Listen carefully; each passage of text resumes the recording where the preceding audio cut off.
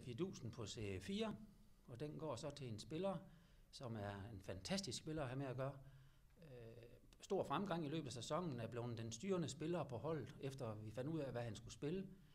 Og så er han jo altså også en ny spiller i Boarding IF. Så Fidus på C4 2020, Kasper Nielsen, tillykke.